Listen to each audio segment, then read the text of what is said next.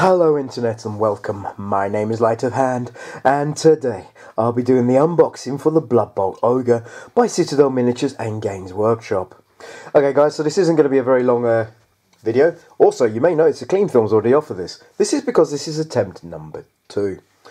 Um, I'm afraid my dog, uh, halfway through my last video, decided to really act up. Okay, enough of that said, let's take a quick look at the uh, artwork on the front of the box. I love how I love the paint painting skill of the Games Workshop team. Uh, they are really, really good. I do have to say. I I don't think the model looks too bad at all. So you know, just the usual sort of things aside. Not suitable uh, for twelve plus. Not suitable for anyone under the age of three because small bits. I believe that's hazard. Worn in small parts, yeah. And recyclable imaging. Sorry if you can hear noise in the background. I've locked. I've closed the door slightly so the dog can't get in, but he's making a lot of noise out there. Okay, I I kind of like the fact they've got the assembling guide. I would like to have, I probably preferred it to be in a little piece of paper that was on the inside of the box, and plus some fluff maybe about the ogres and stuff like that, but there's nothing there.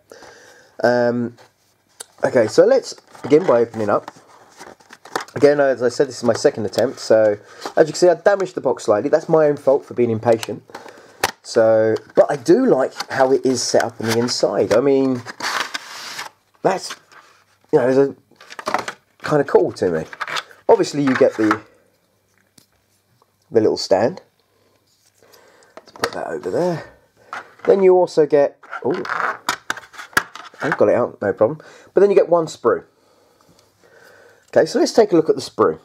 Well, obviously, that's the bottom of his boot. I'm guessing that must be one of the feet that's up because I don't see why they would bother doing the, the bottom of the boot otherwise. Um, there is oh the uh, number plate bit. There's his face. Again, as I said, I do think it looks really kind of cool. That's his body armour. There's his arm. Another sort of bit of arm with all like the straps and the spikes going along it. There's the uh, body bit at the back though Again, similar sort of bits. Part of the face, I think. At the bottom, maybe his mouth. Probably is. Uh, massive shoulder spikes.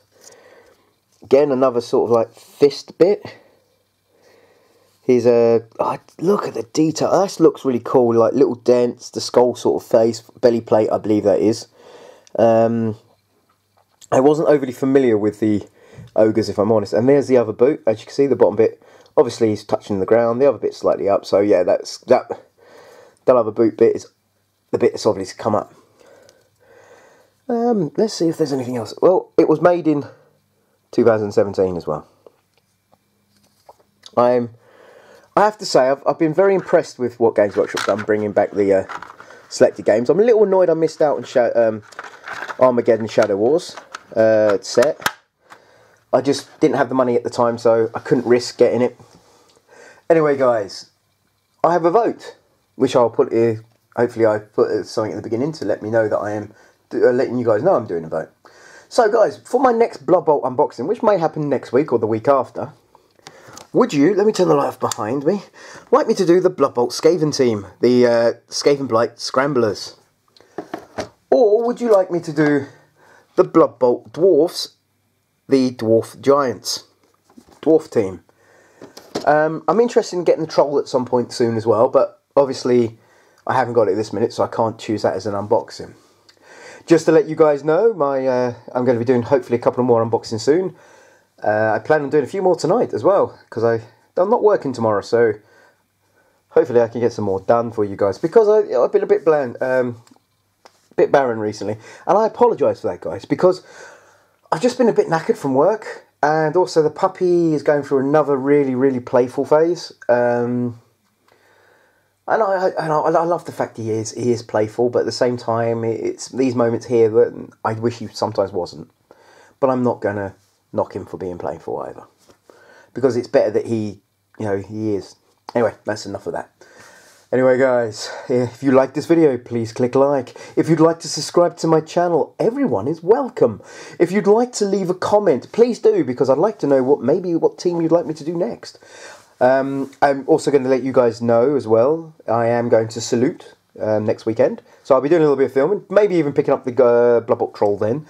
And if there's any other th- any other Blood Bowl stuff that may have come out before then, I'm hoping maybe an Elven team would be kind of cool. I would actually be very happy about that if I'm honest.